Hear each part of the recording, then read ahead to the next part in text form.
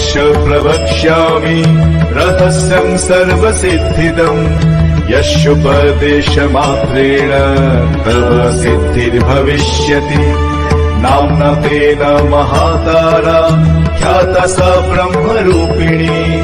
महाशूलत्रयम् कृत्वा तत्र चैकाकिनी स्थिता।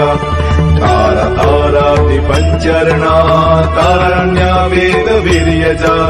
तारताराहिता वर्णा तारण्या ताररूपिणी ताररात्रि समुत्पन्ना ताररात्रि वरुद्यत ताररात्रि जपाशक्ता ताररात्रि स्वरूपिणी ताररग्विश्वसन्तुष्टा तारराग्नि वरप्रदा स्वरूपा च तारराग्नि प्रसिद्धिदा च तारगण